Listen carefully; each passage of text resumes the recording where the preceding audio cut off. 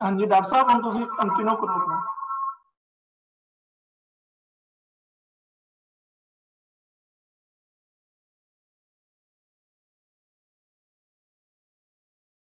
Sir जी mic open करें आपका mic mute है अरे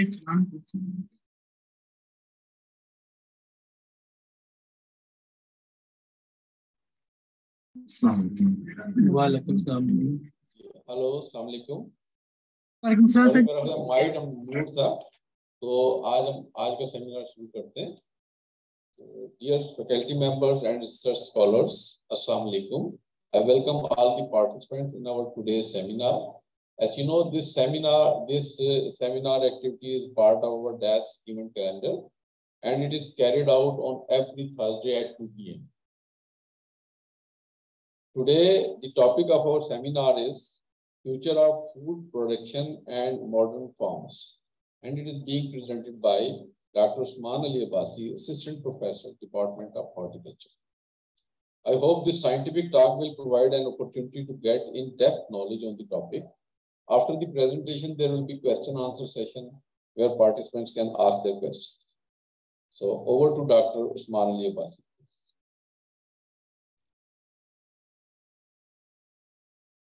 Dr. Usman, can you hear me, please?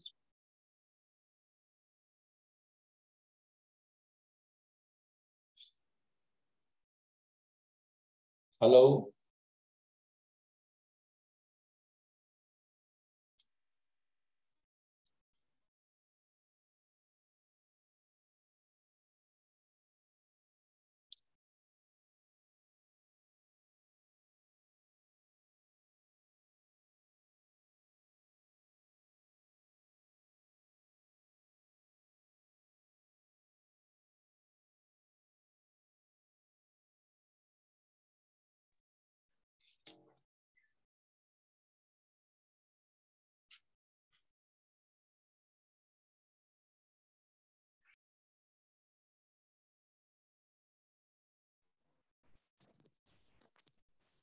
Assalamu alaikum, and I hope, uh, uh, Dr. Farooq, uh, I hope you can hear me and all the participants. Okay, so let me share the screen with you and I can start the. Thank you. Okay, so hope uh, my screen is visible to all of you. Yes, sir. Yes, okay. we can see. Uh, uh, Thank you very much, uh, Dr. Farouk. Uh, and first of all, um, I would like to start with the name of Allah, the most beneficent and the most merciful, the one who give life and everything. Uh, and again, uh, thank you, Dr. Farouk, for for uh, inviting me for this talk, uh, for for the uh, including me for uh, for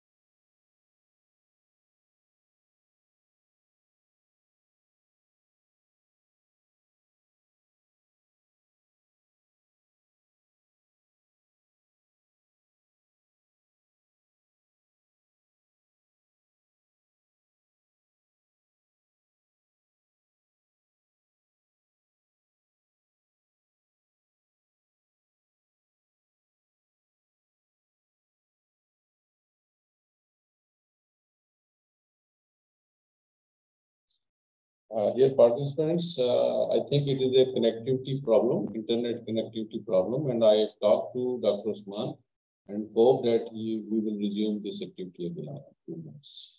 Please wait and I appreciate your patience.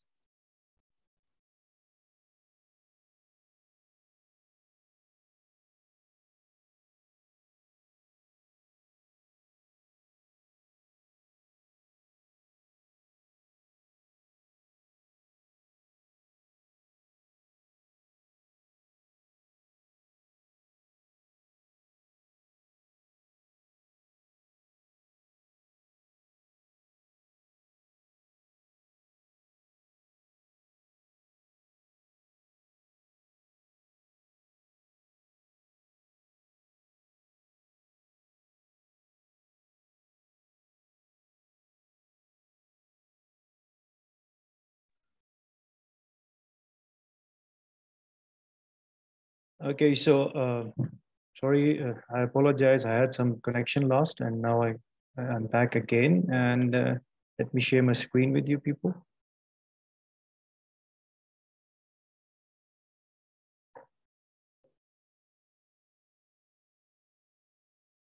Okay, so I hope things go remain good in terms of connectivity.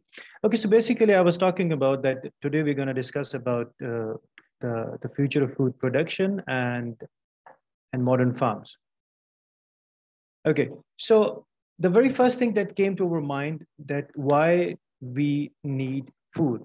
Basically, this is the most important question we have uh, in our mind and why we need food. And for that, uh, we all know that obviously to fulfill uh, hunger and the nutritional requirement of human beings.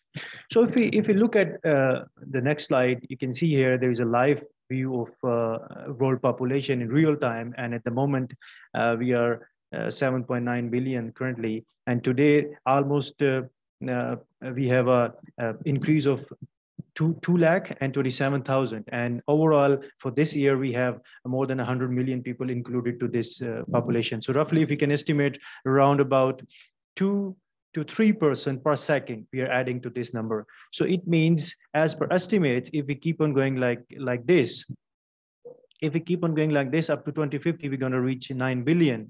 And as per that, uh, our population is growing for, for that reason. We also need to fulfill the, the food requirement for that population. And the estimate says for that uh, to meet the, the requirement of 9 billion people, we need to grow as much as now we are growing. So we need to double our food production in terms of uh, feeding the people, the population that that we're going to have up to 2050. That's going to be roughly nine billion. So this is the basically the the most important factor that that's concern us that we need to feed uh, each and every mouth and to to help them to fulfill their nutrition requirements. Okay so the, the, there are certain things that we need to discuss that uh, there are factors that that affecting food production. Obviously we know the soil and water and maybe temperature these are the primary factors that play their role in terms of uh, food production. But there are certain other things that that limit the availability of food to the to the public or maybe to the to the people.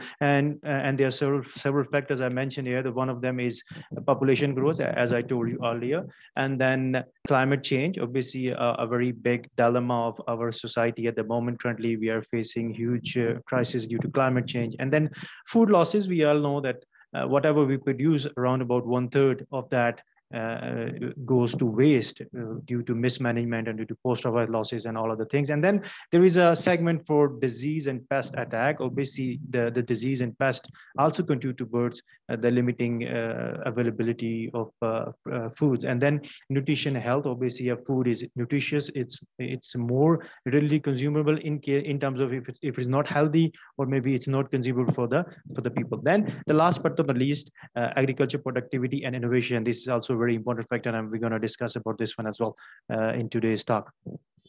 Okay, so as you can see here, the water, which is very important resource and uh, all the fresh water we have at the moment uh, in this world out uh, the fresh water from that 70% is used for the production of crops. So you can you can imagine that how much amount of water is required for the agriculture, the currently the way we are uh, dealing with uh, the crops or the currently the method we are using for the cultivation. So uh, all the fresh water we have, 70% is devoted toward the production of agriculture. Only 30% is utilized for the domestic uh, needs. Uh, okay. Uh, so if we can look at the, the statistics and you can see from 1980s, there is a there is a thing that we call the, the world global crisis. And as we proceed uh, in, the, in the coming generation, as, as the population is increasing, the number of people who are uh, having shortage of water, the number is increasing day by day. And currently up to uh, 2015, it's it's 58% around about 3.8 billion people out of 7.9 billion currently. And, and by now up to 2022, I think the figure even raise up to 70% or 65 something. So you can see from all that we have more than uh, a billion people that lived in Southeast Asia and also North Africa and Middle East. Most of the, the, the area, uh, obviously the Pakistanis lies also in this, in this area. So that's the reason why uh, with the passage of time daily, we are hearing about the people are, are, uh, are suffering the scarcity of water. So as you can see, uh, with the global uh, warming and with the climate change, we also facing a problem with the water crisis and the availability of water. And as I mentioned earlier in the previous slide, that what we are using uh, right now, the 70% of water, maybe in future we don't have that enough water to, to support our cropping system, the one we are using at the moment. Okay, so there are certain uh, things associated with global warming that you can see greenhouse gases. Obviously, when we talk about global warming, we can't skip the greenhouse gases. So there are several types of greenhouse gases. You can see um, uh, uh, oxygen, hydrogen, carbon. These are the mixture, and they combine towards make uh, you know, ozone, uh, nitrous oxide, methane, carbon dioxide, and water. Water in a vapor form. And as as you can uh, know, but as you know about this one, the methane that is almost 28% stronger than Uh, CO2. So you can take the uh, uh, the uh, the course in this way that how much methane is toxic in terms of uh, increasing the greenhouse effect globally. If, if, one molecule of methane is available, that acts like a 28 molecule of carbon dioxide. On the other hand, the, the next thing that is N2O, nitrous oxide, which is 265 times more stronger than CO2. So I will just give you some, some graphs here in the next slide. As you can see here, up to 2020, this is the latest thing. Uh, the countries, how much carbon they are emitting in, into the atmosphere. So China is leading on the top, and then United States, India, and Russia, and Japan, Iran. So you can see uh, China leading combinedly, maybe you can see is the most uh, uh, uh is the most biggest producer of CO2 so depending upon these conditions, we need to think about how we're gonna mitigate the carbon emissions so that we can uh, tackle the climate change. As you can see uh, in agriculture, or maybe whatever this, uh, there are different sectors that, that are contributing the car carbon dioxide or carbon emission.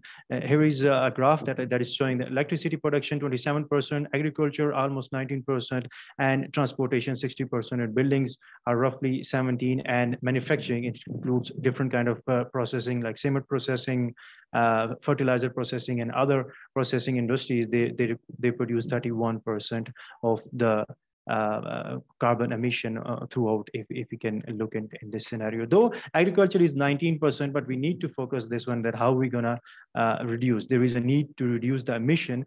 And for that, what we need to do, we need to uh, cut down at least 10% of this emission by the uh, by the coming uh, decade or maybe the, by the by the coming five years. So then we're going to manage uh, this uh, crisis of climate change.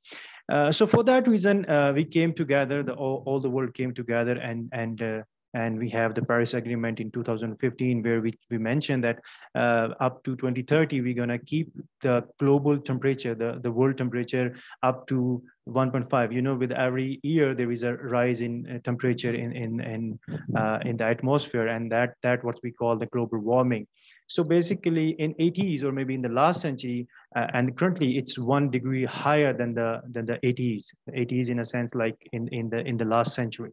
So from last century to today, we are one degree higher. And if we keep on moving with this pace, and uh, then maybe there is no uh, point of return for us. So up to 2030, if we reduce or if we keep uh, the, uh, the increase in temperature up to 1.5 degree or uh, estimate says if the end of this century if we keep the rising temperature up to two or within the limit of two degrees celsius then it's going to be uh, safe for us or we can manage things sustainably. Otherwise it's going to be a big disaster. So for that uh, the, the, the un organized different kind of events and also cop 26 is one of them in which we we uh, commit to these things that we will reduce our emission up to 2050 to 0% from currently, as I mentioned, there are 19% in agriculture and 27% in electricity. So up to 2050, we plan to reduce that emission up to zero. So uh, we call it up 2050 is going to be the zero emission year in terms of carbon dioxide. So as you can see, carbon dioxide is not that toxic, but it's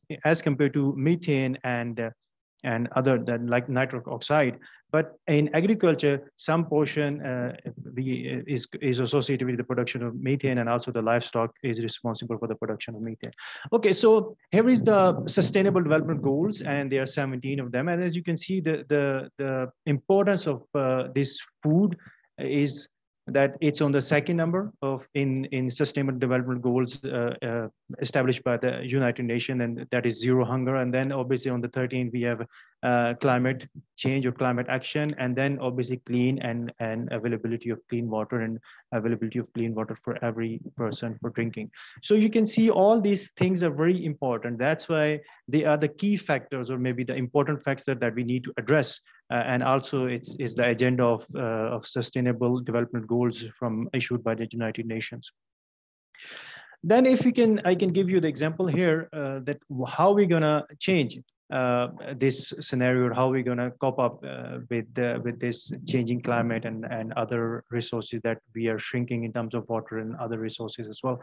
So I can give you an example of urbanization. When in the past, if you can take, uh, we have uh, single story buildings and people used to live in single story building, and then with the progress of urbanization, uh, when the people moved toward from villages to the to the city side, and due to the shortage of space there is a come uh, uh, there is a there is a innovation came and that is building a multi-story building. So transferring from single story building to the multi-story building is is one of the key factor. And keeping this in view i suggest that we need to uh, also focused toward uh, an, another very innovative technique that is uh, vertical gardening or, or vertical farming. And it's, it's very important and most of the countries um, in the world, they're adopting this one. And I think it's a best utilization of the space in terms of uh, uh, resources and also in terms of uh, production. So there are big names like BrightFarms and AeroFarms and also iron oxide and plenty of them. They are producing these kinds of vertical farming technologies and they are uh, producing uh, uh, very nutritious and, and rich crops and they are also marketing them. So these things are possible. And with this one, we also need to add uh, as you can see, because vertical farming is far more better than the conventional ways. I will share some slides in, uh, ahead that, and also better than the tunnel farming or maybe lath house farming. And then you have uh, these LED lights and you need to control all the things artificially rather than providing them some, uh, some sun. Uh, so you can provide the light source artificially. Uh, so with this one, you can uh, have a comparison here, like standard farms, if you can see, uh, uh almost 2.9 kg per meter square we can produce of lettuce and that use almost 250 liters uh, of water per kg production of lettuce and also mostly we know these big farms are very far from the society and you need to transport the goods almost up to 2000 miles uh, for, to transport them from the farm to the market.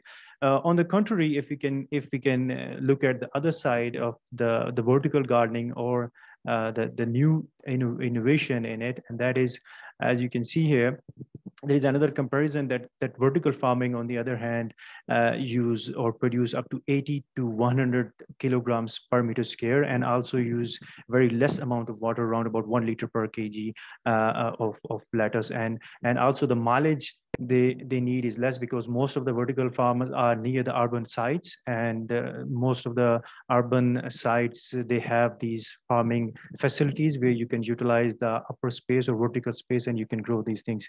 Okay so with with this one as i as i mentioned earlier that the, the lights you need to provide thing artificially. There is another graph that i want to share with you people that that the price of these vertical farming how the, it is reducing. Uh, just in terms of i can give you the idea of uh, the, the the the solar solar energy that in the beginning it's were very costly and later on it, it, the price of the solar energy per watt is reducing. Same in case of uh, lighting of LED bulbs that is used for this vertical gardening, as you can see, starting from uh, almost $70 to and the lifespan is almost uh, to, to 20,000 hours. And at the, at the moment it's below uh, each bulb LED bulb is below one dollar and and the, lifespan is up to 50,000 cycles or 50,000 hours you can say.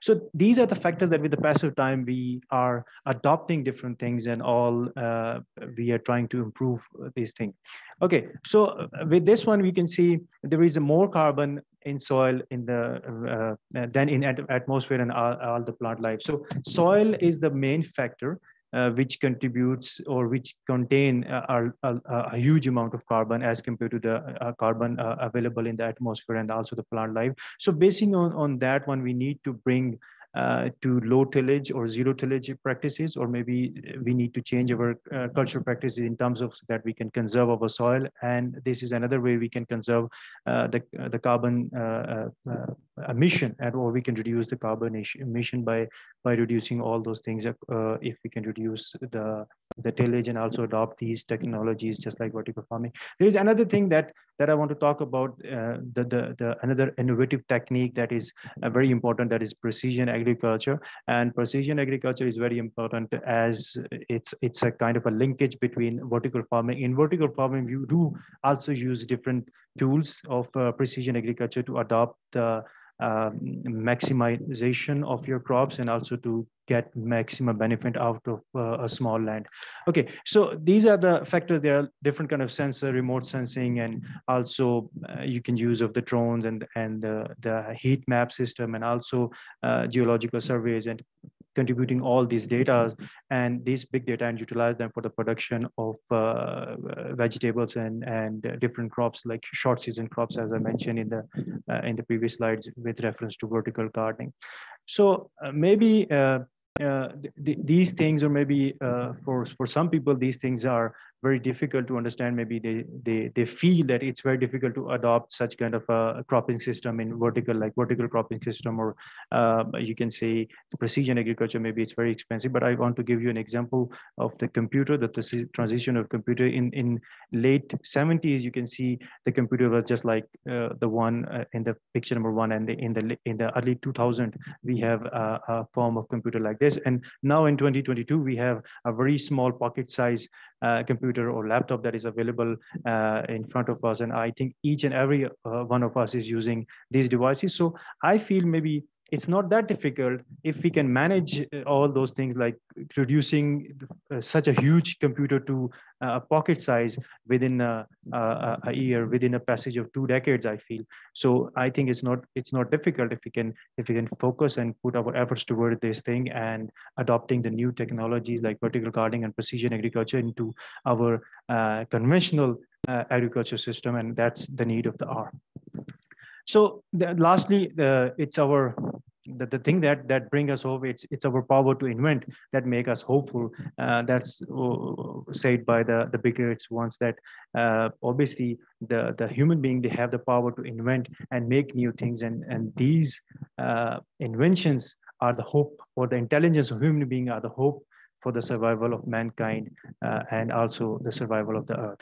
So with this one thank you very much. And if there is any question, please uh, let me know. Thank you.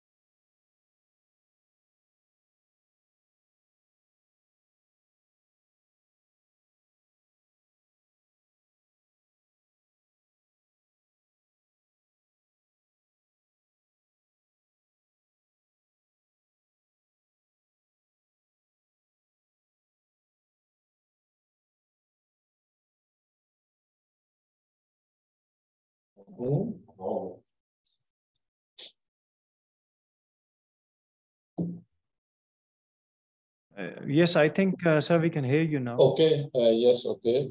Uh, I think there are no more questions. If there is any question, please let us know from any participant.